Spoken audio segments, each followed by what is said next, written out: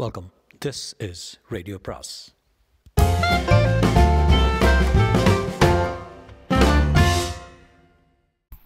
அனைவருக்கும் அன்பு வணக்கம். சுஜாதாவின் ஒரு நடுப்பகல் மரணம் பாவம் நான்கு. ஒரு கணம் ஏன்? ஒரு கணத்தின் பிரிவு என்று கூட சொல்லலாம். உமாவுக்கு அந்த ரயில்வே ரயிலே வேறு வேறு ரயிலாக இருந்தது. வேறு தினம் வேறு பிரயாணிகள் பக்கத்தில் கணவன் இல்லை. ஒரு பிரபஞ்ச அளவுக்கு துக்கம் நெஞ்சில் கணக்க அழுது கொண்டிருந்தால் எல்லாமே ஒரு கணம் நேரம் படிச்சு தான் சி என்ன வித்தியாசமான பகல் கனவு. பகல் கனவா? இல்லை. ப்ரிமனிஷன் இல்லை. இல்லை கனவுதான். விழித்து கொண்டிருக்கும் போது கனவாவது. பின் இது என்னவாம் வசதியாலும் சற்றே அஜீரணத்தாலும் வந்த வினை. நேற்றும் இன்றும் நடந்தது ஒரு நாளைக்கு அபரிவிதமான நிகழ்ச்சிகள். சந்தோஷத்தின் எல்லை கோடுகளை தொட்டு பார்த்து முடிந்த கையோடு பிரிவு அப்பா அம்மாவிடமிருந்து விலகி சாஸ்வதமாக மற்றொரு வீட்டு பெண்ணாக கிளம்பிவிட்ட பிரிவு எல்லாம் சேர்ந்து கொண்டு மனசை நிதானம் தவற வைத்திருக்கிறது. தலை சிலிர்த்து கொண்டால் ஜன்னலுக்கு வெளியே பஞ்சு ஒத்தட தடக் தடக் கேட்டது. பக்கத்து இருப்பு பாதை விடாமுயற்சியாக தீற்றிக்கொண்டே கூட வந்தது. மனத்தை ஸ்திரப்படுத்தி கொண்டான் மணி இன்னும் பேசிக் கொண்டிருந்தான். அவன் கேள்விகளுக்கெல்லாம் பாப்ஜி அரை வார்த்தைகளிலும் தலையாட்டலிலும் பதில் அளித்துக் கொண்டிருந்தான். எப்போதும் எங்களை தனியாக விட எப்போது எங்களை தனியாக விட போகிறாய்? என்று கேட்காமல் கேட்டுக்கொண்டிருந்தான் நம்ம தேசத்தில் எல்லா கெடுதலுக்கும் காரணம் என்ன தெரியுமா மாப்பிள்ள? குடும்பங்கிறது சிதறி போச்சு தேசபக்தி எல்லாம் போச்சு. சுயநலம் தான் தலைவிரிச்சு ஆடுறது என்று சொந்த வேதாந்தம் பேசிக்கொண்டிருந்த மணி திடீரென்று தன் பிரசன்னம் அங்கு தேவையில்லை என்பதை உணர்ந்து கொண்டவன் போல சரி நான் வரட்டுமா? உங்களை இன்னும் அறுக்க விரும்பல. அப்புறம் பார்க்கலாமே. ஆ வரேம்மா என்றான். உமைன்னு தானே கூப்பிடுவீங்க? இனிமே உமி இல்லை அவள் உமா. வேத்து மனுஷி ஆயிட்டான் அவன் சென்றதும் பெக்யூலர் சாப் என்றான். ஏன்? ஒரு சப்ஜெக்டில் ஸ்திரமாக இருக்க மாட்டேங்கிறான். என்ன பேசினான்னு நான் கேட்கவே இல்லையே. ஜெயகிருஷ்ணமூர்த்திங்கிறான் ஐன்ஸ்டைன்கிறான் புரியவே இல்லை. நீ என்ன என்ன பண்ணிகிட்டு இருந்த என்னமோ குருட்டு யோசனை. அவன் தோலை கட்டிக்கொண்டு என்னை விட்டுட்டு எங்கேயும் போயிடாதீங்க என்றான். கவலைப்படாத. ஆஃபீஸ் போகிறப்ப கூட சின்னதாக ஒரு கூடையில் தூக்கிட்டு போய்டுறேன். என்ன? இதுக்கு முன்னாடி பெங்களூர் வந்திருக்கியா? ம் ஃப்ரெண்ட்ஸ் கூட ஒரு தடவை கிரிக்கெட் மேட்ச் ஆட வந்திருக்கேன். இதே பிருந்தாவனில் பதினஞ்சு பேர் வந்தோம். ஒரே கலாட்டாவும் ஆட்டவும் பாட்டவுமா? அப்போல்லாம் சட்டை பேண்ட்டு தான். எத்தனையோ பசங்க எங்கள் கம்பார்ட்மெண்ட்டில் சுற்றிட்டு இருந்தாங்க. ஹாய் ஐம் ராகேஷ்னு ஒரு ஒரு பையன் என்கிட்ட தைரியமாக அறிமுகப்படுத்திக்கொண்டான். சிரிப்பாக வந்தது. எனக்கு சிரிப்பு வரல. அவங்க கூட பேசினியா? ஹாய்னு அவ்வளோதான் பெங்களூரில் நாங்கள் ஆடின அத்தனை மேட்ச்க்கும் வந்து டான்னு உட்காந்துட்டான் நல்ல விசுவாசம். எங்கே தங்கியிருந்தீங்க? கேசிஎஸ் ஸ்டேடியத்துக்கு பக்கத்தில். We had a lovely time இப்போது மறுபடி பெங்களூர் மாணவியாக இல்லை மனைவியாக புடவை கட்டிக்கொண்டு பக்கத்தில் கணவனுடன் அதனால் வந்த அந்தஸ்து தைரியத்துடன் வேறு வேஷத்தில் எதையோ கொஞ்சம் இழந்து தளர்ந்து பெங்களூர் வந்தாச்சு. சற்று அவசரமாக தன் புதிய மேக்கப் பெட்டியை உபயோகிக்க வேண்டும் என்ற கவலையில் அதை திறந்து சின்ன கண்ணாடிக்கு முன் பவுடர் திட்டிக்கொண்டு தலையை கோதிக்கொண்டான்.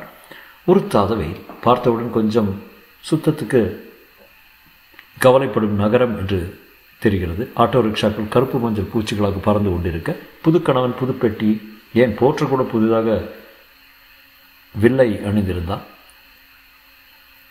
மிஸ்டர் அண்ட் மிஸ்ஸஸ் கிருஷ்ணமூர்த்தி ஆ ஒரு நிமிஷம்.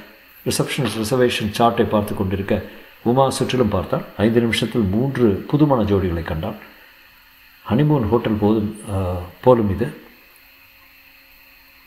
சரியா பாருங்க சார் மணிங்கிறவரை ரிசர்வேஷன் பண்ணியிருக்காரு.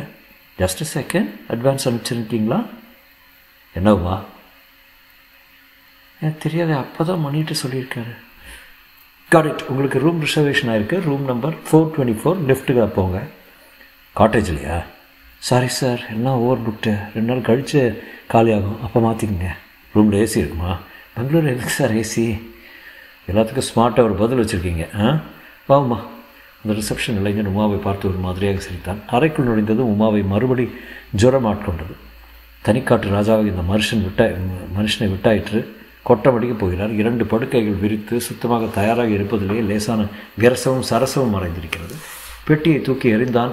உமா பால்கனியை திறந்து பார்த்தால் பெங்களூரின் ஒரு சின்ன விள்ளல் தெரிந்தது. தூரத்தில் ஸ்டேடியம் தெரிந்தது.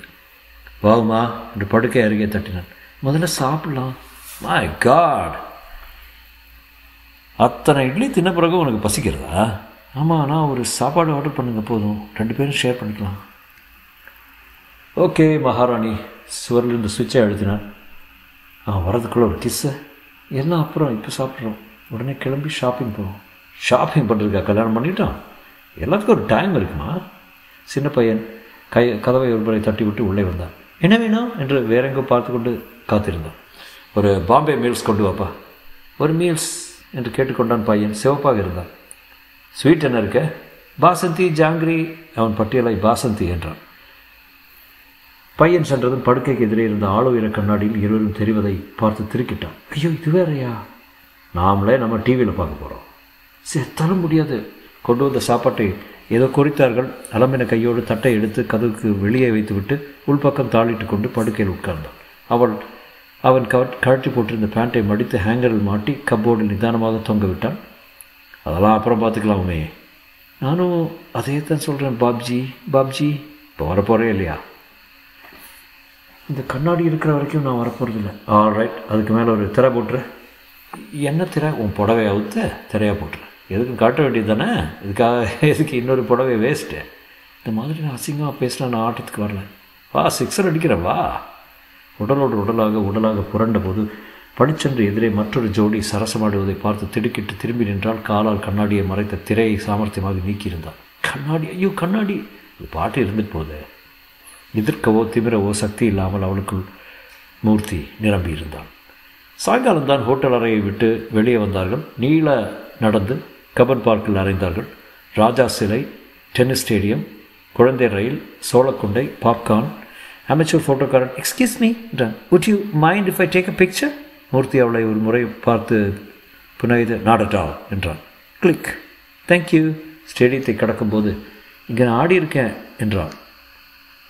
எத்தனை ரன் அடித்த எட்டு. ஆ வெரி குட் இன்னும் வெரி குட் எட்டு ரன்னு ரொம்ப மோசம்னு அர்த்தம். கிரிக்கெட்டே தெரியாதா? எனக்கு தெரிஞ்ச ஒரே ஒரு ஆட்டம் கைப்பந்து ஆட்டம். ஹேண்ட்பால் போச்சுரா டிவோர்ஸ் பண்ணிட வேண்டியதுதான். யுவர் ஆனர் இந்த பெண் எப்போ பார்த்தாலும் கிரிக்கெட் கிரிக்கெட்னு அறுக்கிற. இவருடைய பழைய கிரிக்கெட் ஸ்நேகிதர்களின் தொந்தரவு தாங்கலை. இப்போது பிரதிவாதியின் வாதங்கள். இவர் ஆனர் இந்த ஆள் ராப்பகலாக நேரம் பொழுது இல்லாமல் தொந்தரவு செய்கிறாரு செய்வதை கண்ணாடியில் வேறு பார்க்க வேணுங்கிறாரு இடுப்பு கை கால் மூட்டுகள் எல்லாம் தளர்ந்து போய் ஒரே வலி. எந்த இடத்துல தான் என்ன விவசாயம் இல்லாமல் கடிக்கிறது இவர் வழக்கமாக இருக்கிறது. நான் என்ன பெண்ணா இல்லை ப்ளம் கேக்கா அப்ஜெக்ஷன் வழக்கு கிரிக்கெட்டை பற்றியது. எனக்கு முன் இத்தனை அழகாக இருந்து இத்தனை அருகில் இருந்தால் ஒரு ஆசாமி என்ன தான் செய்வான்? கிரிக்கெட் ரோடில் நடக்கும்போது ஒரு மஞ்சள் புடவை வெள்ளக்காரி வந்து நீங்கள் உங்கள் வாழ்க்கையில் கிருஷ்ணாவை சந்தித்திருக்கிறீர்களா இந்த வண்ண வண்ண புத்தகங்கள் உங்களுக்கு அவன் அவனை கண்டுகொள்ள உதவும். வாங்கி பார்க்கிறீர்களா என்று அமெரிக்காவில் அச்சாகி இருந்த காளி மருத்துவத்தினை அவர்கள் முன் நீட்டினார். லேடி என் மனைவி இவளை முதல்ல கண்டுகொள்கிறேன். அப்புறம் கிருஷ்ணா என்று நடந்தார். ஈரானியர்கள் மோட்டார் சைக்கிளில் தடுத்தடுத்து கொண்டு செல்ல சந்தன வாசனை அரசாங்க கடையில் அவனுக்கு உமா ஒரு கீச்சைன் வாங்கி கொடுத்தால் வீடியோ கேம்ஸ் விளையாடினார்கள். ரெக்ஸ் தியேட்டர்கள் தியேட்டரில் பாப்பியான் பேப்பியான் ஓடிக்கொண்டிருந்தது. எனக்கு எனக்கு டஸ்டின் ஆஃப்மன் பிடிக்கும். அவன் ஒரு பொட்டை. எனக்கு ஸ்டீவ் மக்வின் தான் பிடிக்கும். பாவம் செத்து போயிட்டான்ல கேன்சரு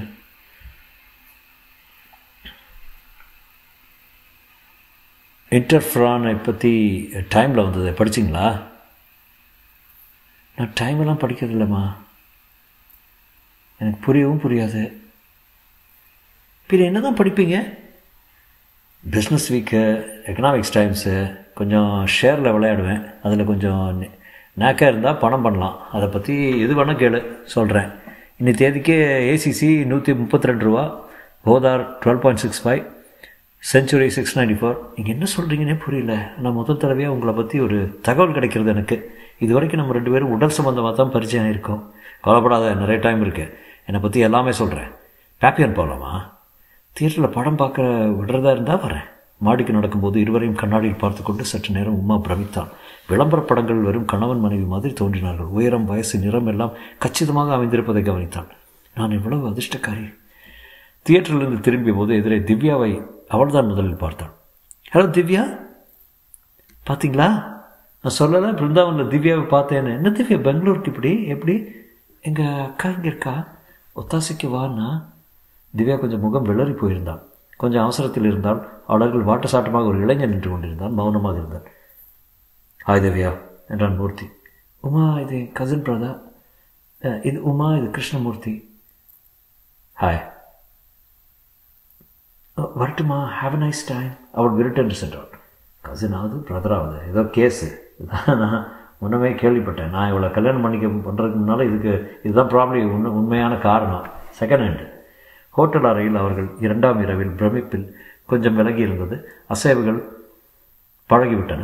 ரொம்ப நேரம் விழித்திருந்தார்கள். மறுபடியும் மறுபடியும் தூங்கினாலும் எழுந்து ஒருவருக்கொருவர் தொட்டு பார்த்து கொண்டு ஊர்ஜிதப்படுத்தி கொண்டார்கள். நிஜமாகவே தூங்க மூன்று மணி ஆகிவிட்டது. காலை ஒன்பதுக்கு தான் எழுந்தார்கள். படுக்கையிலேயே காப்பி சாப்பிட்டு விட்டு மறுபடி தூங்க போனான்.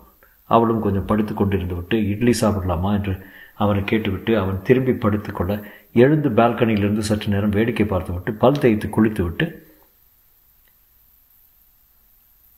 சற்று நேரம் உறங்கும் கணவனையே உற்று பார்த்து கொண்டிருந்து விட்டு அவனை எழுப்பி கதவை சாத்தி இங்கே நான் கீழே போய் புக் ஷாப்பில் ஏதாவது வாங்கிட்டு வரேன் என்றான். அவன் அரை தூக்கத்தில் ம் சரி என்றான். கீழே வந்தால் லவுஞ்சில் இருந்த புத்தக கடையில் ஆழ்ந்தாள். ஆக்டர் நாஷ் அவளுக்கு பிடிக்கும். படித்து படித்து சிரித்து கொண்டாள். மைட்டி கிரீச்சர்ஸ் அ is தோ smaller though the than the pachyderm. His customary dwelling place deep deep the human rice race. His childish pride often often by giving people strange diseases. Do you, dear reader, feel infirm? You probably contain a germ. மணி பார்த்தாள் நடுப்பகல் இந்நேரம் எழுந்திருப்பான் திரும்ப மாடிக்கு வந்து கதவை திறக்கையில் கதவடியில் சின்னதாக இரத்தக்கோடு தெரிந்தது தொடரும்